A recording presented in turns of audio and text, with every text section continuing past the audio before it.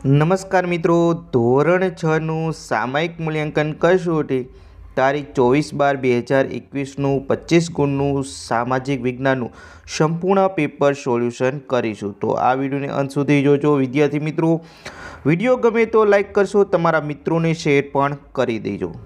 ચાલો શરૂ કરીએ સંપૂર્ણ પેપર સોલ્યુશન. સો ટકા સાચું અને પરફેક્ટ પેપર સોલ્યુશન.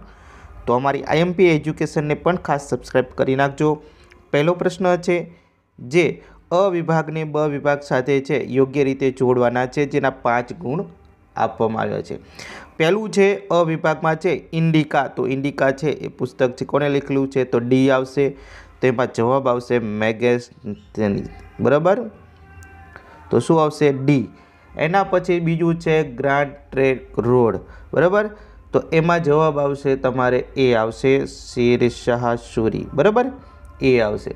એના પછી સુદર્શન તળાવ. તો સુદર્શન તળાવ કોણે બંધાવ્યું? તો કે પુષ્પગુપ્તે. બરાબર? તો પુષ્પગુપ્તે બંધાવેલું તો એટલે અહીંયા એફ જવાબ આવશે. ચોથું છે અર્થશાસ્ત્ર. તો અર્થશાસ્ત્ર તમને ખબર જ છે કે અર્થશાસ્ત્રના પિતા આપણે ચાણક્ય. અર્થશાસ્ત્ર લખેલું હતું એના માટે ચાણક્ય આવશે જવાબ. ઓકે? એના પછી આવે પાંચમું છે મુદ્રા રાક્ષસ. તો મુદ્રા રાક્ષસ તમને ખબર છે વિશાખા દત્ત જે છે. ઓકે? સી જવાબ. તો બસ આવી રીતના જવાબ છે એ જોડવાના છે, જવાબના જોડકા જોડવાના છે, પરફેક્ટ સોલ્યુશન. ઓકે? ચાલો, હવે પ્રશ્ન નંબર બે જોઈએ. તો પ્રશ્ન નંબર બે પ્રશ્નોના જવાબ આપો. બરાબર? તો પહેલો છે કે મૌર્ય યુગના વહીવટી તંત્રના કેટલા ભાગમાં વહેંચવામાં આવ આવ્યું હતું અને કયા કયા? તો મૌર્ય યુગ સામ્રાજ્યમાં છે વહીવટ તંત્રના આ ત્રણ ભાગો છે, એમાં વહેંચવામાં આવતું, જેમાં પહેલું છે કેન્દ્રીય, બીજું છે પ્રાંતીય અને ત્રીજું છે પ્રાદેશિક, જેને સ્થાનિક પણ કહેવામાં આવે છે. ઓકે, ચાલો, બીજો પ્રશ્ન છે કે સમ્રાટ અશોકે ગૌતમ બુદ્ધના કયા સિદ્ધાંતોના પ્રચાર પર ભાર મૂક્યો હતો? તેનો જવાબ લખીશું મિત્રો આ રીતના કે સમ્રાટ અશોકે ભગવાન બુદ્ધનો પ્રેમ, દયા, કરુણા, અહિંસા, અનુકંપા અને સદાચાર વગેરેના સિદ્ધાંતોનો પ્રચાર પર ભાર મૂક્યો હતો. ઓકે, એના પછી પ્રશ્ન નંબર ત્રણ જોઈએ. તો પ્રશ્ન ત્રણ છે, તે ત્રણ ગુણનો છે. બરાબર? તો પ્રશ્ન ત્રણની અંદર વાત કરીએ તો પહેલું છે કે અશોક પુત્ર જે વિકલ્પો છે ત્રણે ત્રણ, બરાબર? તો આપણે વાંચી જ લઈએ કે અશોકે પુત્ર મહેન્દ્રને બૌદ્ધ ધર્મનો પ્રચાર માટે ક્યાં મોકલ્યા હતા? તો ક્યાં મોકલ્યા? તો જવાબ આવશે તમારે શિલોન, એટલે બી ઓપ્શન બરાબર?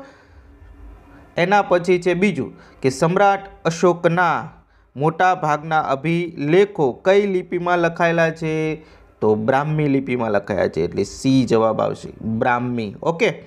ત્રીજું છે, મૌર્ય યુગ દરમિયાન ખેતી વિભાગના વડાને કયા નામથી ઓળખવામાં આવતા હતા?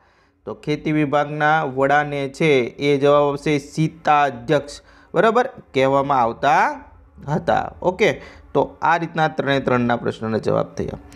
ઓકે? એના પછી પ્રશ્ન ત્રણ બ છે. જેમાં ચંદ્રગુપ્ત મૌર્યના જીવનકાળમાં ચાણક્યનો ફાળો છે એના વિશે જણાવવાનું છે, જે બે ગુણનો પ્રશ્ન છે. ઓકે? તો વિદ્યાર્થી મિત્રો, એનો જવાબ છે તમારે આ રીતના લખવાનો છે. આપ તમે સ્ક્રીન ઉપર પણ જોઈ શકો છો. ઓકે તો કે ચાણક્યના માર્ગદર્શન ચંદ્રગુપ્ત મૌર્ય ઈસવીસન પૂર્વ ત્રણસો ને એકવીસમાં નંદવંશના અંતિમ સમ્રાટ જે હતા, ધનનંદને હરાવીને મગધની ગાદી પર મૌર્ય વંશની સ્થાપના કરી. ચંદ્રગુપ્તે પોતાની વીરતા અને ચાણક્યના રાજનીતિ માર્ગદર્શનથી ભારતમાં મોટા ભાગના વિસ્તારમાં મૌર્યની સત્તાનો પ્રસાર કર્યો અને ઉત્તરમાં અફઘાનિસ્તાન, પેશાવર કંદહારથી લઈને પૂર્વમાં બંગાળ સુધી તેમનું શાસન રહ્યું હતું. તો વિદ્યાર્થી મિત્રો, આ રીતના તમારે જવાબ લખવાનો છે. ઓકે, તમે લખેલો જ હશે. ચાલો, એના પછી પ્રશ્ન નંબર ચાર છે, જે નીચેની ખાલી જગ્યા પૂરો. તો ખાલી જગ્યા છે, તો ખાલી જગ્યા સાવ ઇઝી જ છે. પહેલી છે તો કે જૂનાગઢનો ગિરનારનો પર્વત ખાલી જગ્યા પ્રકારનો છે તો જ્વાળામુખી પર પ્રકારનો આવશે શું જવાબ આવશે? જ્વાળામુખી. બીજું છે, બે જળ વિસ્તારોને જોડતી સાંકડી જળપટ્ટીને શું કહેવાય? છે કે સામુદ્ર ધુની કહેવાય. શું કહેવાય? સામુદ્ર ધુની ઓકે. ત્રીજું છે કે મહારાષ્ટ્રનો લાવાનો ઉચ્ચ પ્રદેશ એ ખાલી જગ્યા પ્રકારનો ઉચ્ચ પ્રદેશ છે તો ખંડીય ઉચ્ચ પ્રદેશ છે. તો વચ્ચે ખાલી જગ્યામાં લખવાનું છે ખંડીય પ્રકારનો ઉચ્ચ પ્રદેશ. ઓકે. ચાલો, પ્રશ્ન નંબર ચાર જોઈએ. વિદ્યાર્થી મિત્રો, તો પ્રશ્ન ચાર છે કે ટાપ. એના પ્રશ્નોના જવાબ આપવાના છે. સાવ નાના નાના છે. તો બરાબર પહેલું છે કે ટાપુ એટલે શું? તો ટાપુ એટલે ચારે બાજુથી જળ વિસ્તારથી ઘેરાયેલા ભૂમિભાગને શું કહેવાય છે? ટાપુ. ધારી લો, દાખલા તરીકે લક્ષદ્વીપનો, અંદમાનનો ટાપુ, બરાબર? વગેરે. એના પછી બીજો છે કે અખાત કોને કહેવાય છે? તો એનો જવાબ આ રીતના લખીશું કે ત્રણેય બાજુની ભૂમિથી ઘેરાયેલા હોય તે જળ વિસ્તારને આપણે અખાત કહીએ છીએ. જેમ કે ખંભાતનો અખાત, કચ્છનો અખાત. ઓકે, જે આપણે ગુજરાતમાં જ છે. ચાલો, પ્રશ્ન નંબર પાંચ છે. પ્રશ્નોના જવાબ આપો, જે ત્રણ ગુણનો છે.